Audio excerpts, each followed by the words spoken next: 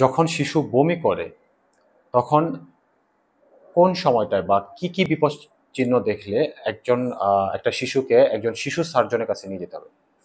বমি আমাদের বাচ্চাদের খুবই সাধারণ একটা সমস্যা। মানে জন্মের পরে বমি করে নাই দু একবার, এরকম বাচ্চা খুঁজে পাওয়া খুবই কঠিন। তো বেশিরভাগ ক্ষেত্রে এই বমি কিন্তু নিজে নিজেই ঠিক হয়ে যায়। কখনো একটু ওষুধ দরকার হয় বা দু একদিনের মধ্যে সে নিজে নিজে ঠিক হয়ে যায়। কিন্তু বাচ্চার বমিতে কোন বিপদ চিহ্ন দেখলে আপনি বাচ্চাকে অবশ্যই একজন শিশু সার্জনের কাছে নিয়ে আসবেন।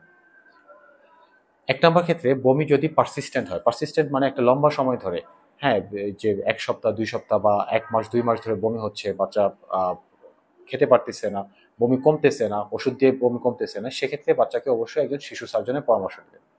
দুই নাম্বার হচ্ছে বমি যদি প্রজেক্টাইল হয়, স্বাভাবিকভাবে আমরা যখন বমি করি, বমি মুখ থেকে বের হয়ে নিচের দিকে পড়ে।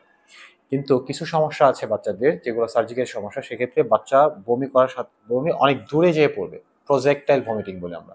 যদি বমি প্রজেক্টাইল হয়, সেক্ষেত্রে একজন শিশু সার্জনের পরামর্শ নিতে হবে। তিন নম্বর হচ্ছে বমির রং। বমি যদি হলুদ বা সবুজ রঙের হয়, সেটা যদি একবারও হয়, তাহলে অবশ্যই অবশ্যই একজন শিশু সার্জনের পরামর্শ নিতে হবে। চার নাম্বার হচ্ছে বমির সাথে যদি রক্ত মিশানো থাকে যে আপনি বাচ্চা বমি করতেছে, বমির সাথে রক্ত আসতেছে, তাহলে অবশ্যই একজন শিশু সার্জনের পরামর্শ নিতে হবে। পাঁচ নাম্বার হচ্ছে, যদি বাচ্চার ওজন কমতে থাকে, যে বাচ্চা অনেকদিন ধরে বমি করতেছে, সাথে সাথে তার ওজনও কমে যাচ্ছে, তাহলে অবশ্যই একজন শিশু সার্জনের পরামর্শ নিতে হবে। এই পাঁচটা বিপদ চিহ্ন যদি থাকে, এই পাঁচটা বিপদ, বমির সাথে এই পাঁচটা বিপদ চিহ্ন থাকলে বাচ্চাকে অবশ্যই একজন শিশু সার্জনের পরামর্শ নিতে হবে। ধন্যবাদ।